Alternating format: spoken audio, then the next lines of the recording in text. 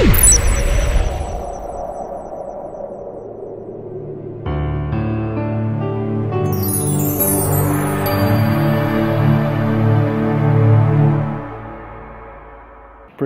Bridges.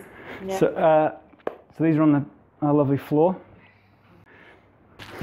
Um, we've talked about you know the importance of glutes, okay, versus the quads. Uh, the best way to work your glutes if you're not standing up is to be on your back. we just have hands on hips just to make sure they stay nice and stable. This is your easiest progression, is just a straight up hip raise. Okay, so we're coming as high as we can and coming down slow. Now most of you could probably do 20 of these and not have any kind of fatigue going on. So the next progression should quickly come. Bring the feet a little bit closer together. We're going to go up with one leg, up with two legs, take one foot away, hold that top position, and then lower down.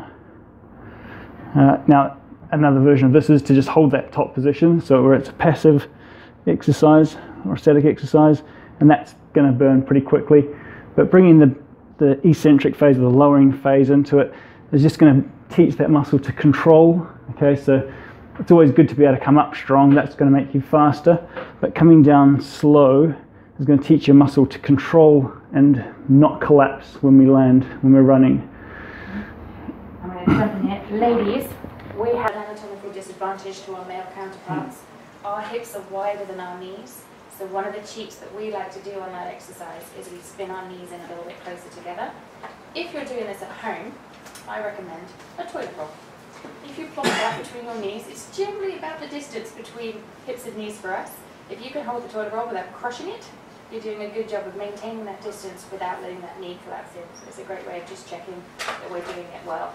Because you can actually create a rotational pattern in there. And again, with all of these exercises, it's about form if you're doing it correctly and you've got good form, you're teaching your body and your brain and muscles the right patterns. If you've got a cheat in there, if they feel quite easy and you think, actually I can do 40 of these, before you progress, just check everybody's in line, everybody's working together.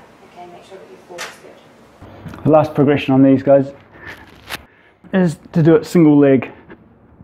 So we're actually coming up strong with the one leg and down slow. Now a big difference between this exercise being good for your butt versus hard work for your hamstrings and quad is actually clenching this glute. Okay, so clenching your butt before you come up. It'll make the contraction stronger, but it'll mean that this muscle fatigues and keeping it clenched on the way down. And that should really apply for any of your, your strength, your leg strength exercises.